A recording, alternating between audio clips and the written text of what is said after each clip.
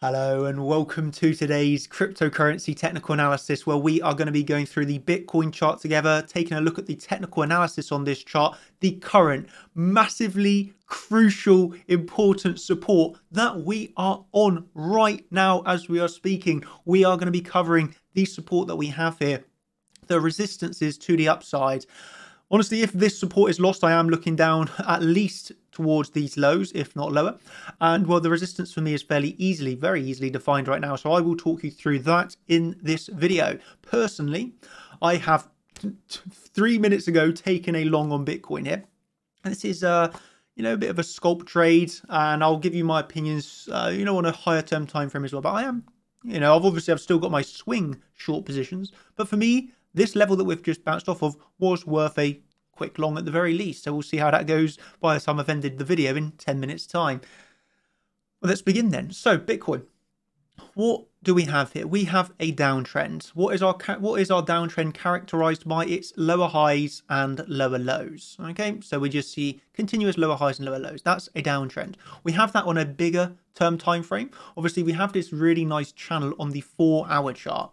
So on the four-hour chart, we have this really, really well-defined parallel channel, which I love. Okay, which obviously captured the lows around here. And you have to remember each of these bounces. Obviously, we had that double bottom bounce yesterday. That was for about a 7% bounce. But this is what we have overall. And we can see we're, you know, we're currently, as we speak anyway, holding support at the low of that parallel channel, which is obviously about $42,000. Okay, so that's the four hour chart. And that's also, though, still with a lower high and lower low. Let's come down to the 15 minute chart from the 15 minute chart here, we are still making these lower highs and lower lows. And I found this really, really, really interesting. Uh, what we actually saw here was a series again with obviously our lower highs. You see this lower high, lower high, and the high rally that we put in yesterday, or this morning really, was another lower high, another lower high. So we could rally here even and put in another lower high and just continue downwards. That for me was extremely interesting. If we just mark out exactly, so you can see these highs, that was obviously a clear one. But this lower high that was put in, we're talking about by a matter of dollars. Okay, very close to breaking that high and changing the trend, but Bears defended the level very successfully. You can see here on the secondary retest before this big drop that we've just seen, another successful lower high put in. This for me signals bears are in control.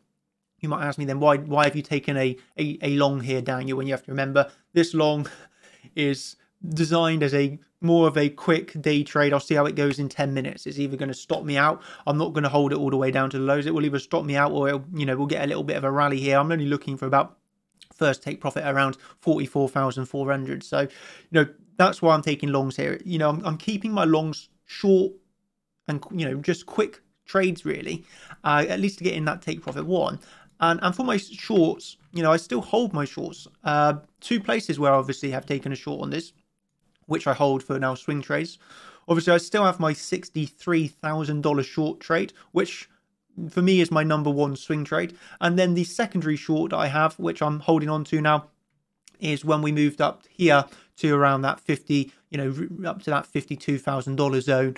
That was the second short I take and I'm holding both of those for swing trades and, until we change this local trend. So until we at very least see this lower high, lower high, lower high, lower high trend, you know, change, I have no reason at all to close my shorts. And in that regards, I am looking for lower on the Bitcoin chart. Okay.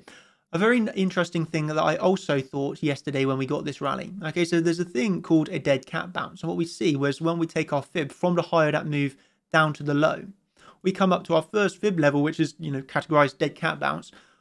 Dead cat bounce one, two, and three. This is the 382 Fibonacci level. So being unable to break that Fibonacci level for me just signifies as well. This rally is a dead cat bounce.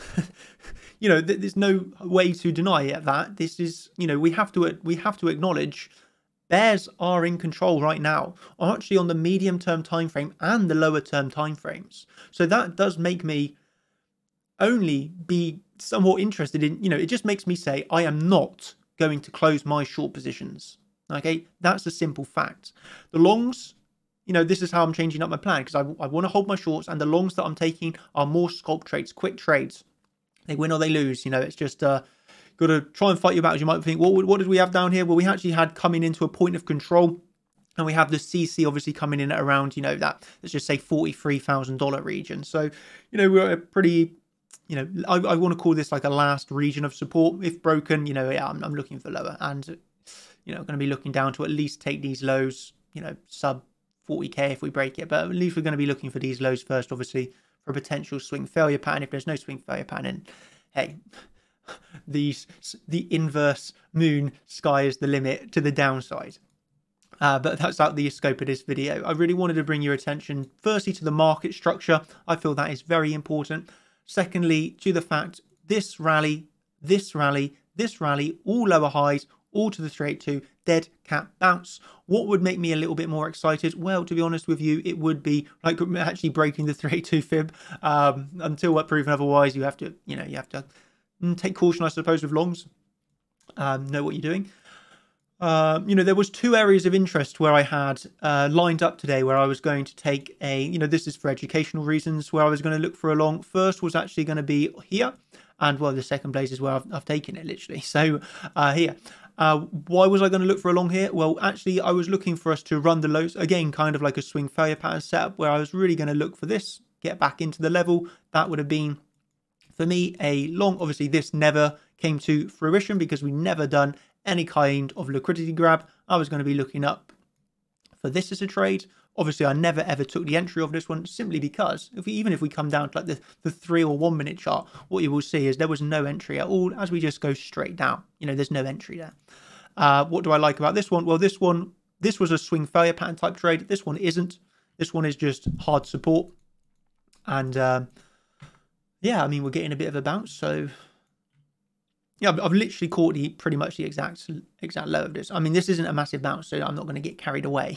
By the time this is uploaded, I literally could be out of the trade. So, you know, I don't want to hype that trade too much because by the time this video is on YouTube, maybe it's already been stopped out. So we'll wait and see how it goes. But that's the reasonings why I had here point of control coming into the CCW region. Uh, in my opinion, really that like you know coming up to a last level of defense that 43k. So it was worth a scalp trade at the very least. Um, yeah, so my closing thoughts here really are longs for me are short and sweet. Uh, that means I'm not going to get carried away, and my expectations overall have to be that we're going lower. Okay, what will change my expectations and change my probabilities? Uh, it would have to be changing, you know, changing at least changing the market structure. Uh, you know, better reclaiming and holding that 382. That would give me a nice idea that we're moving up. Uh, if on, I will try and trade this one, either take profit one and move to stop up. Uh, we'll see how that goes. Pretty nice bounce thus far. Um, so that's that's always good. It's always very good indeed. I did post about this one in the group really quickly. I'll show you the entry that I got. This was over in the the money shots worth a quick scalp. So yeah, literally I've been in this one for about uh, just over 10 minutes and that entry literally at the absolute literally go and check it on the tether pair of course. Absolute pretty much low of the move thus far. So we'll have to see how that goes again. It could have been stopped out by the time the video is uploaded so let's move on.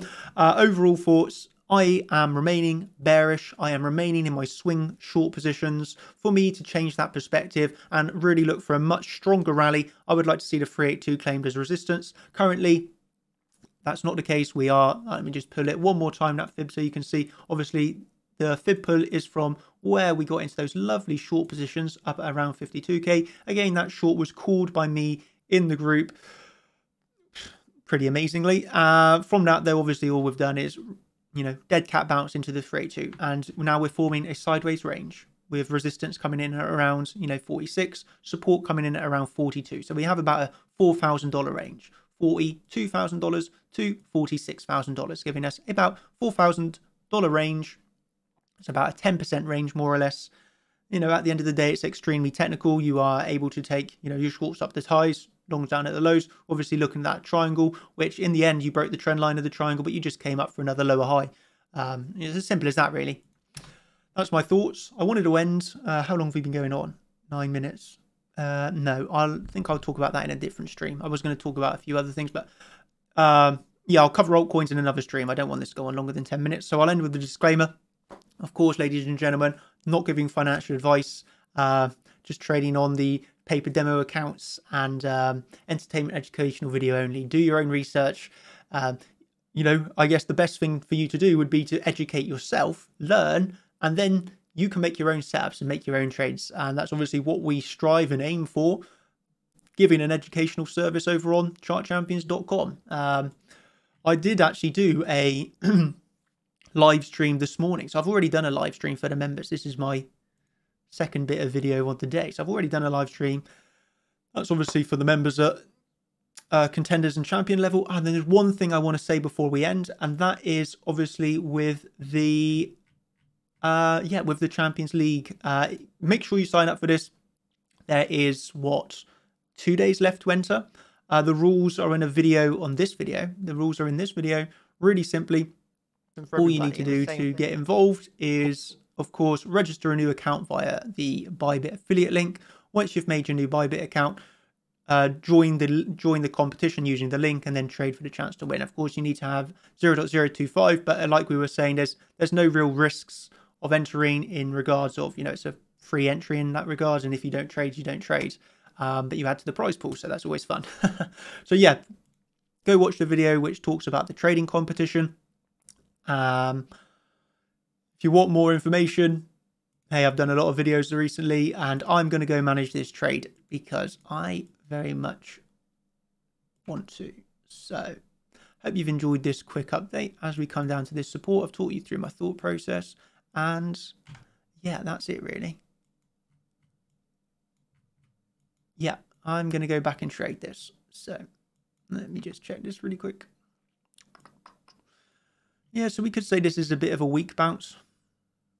You know, open interest not really strong, but yeah, I'm going to go back and trade this. Cheers, everyone. I'll upload this to YouTube now. Have a brilliant day and um, enjoy yourselves. Cheers.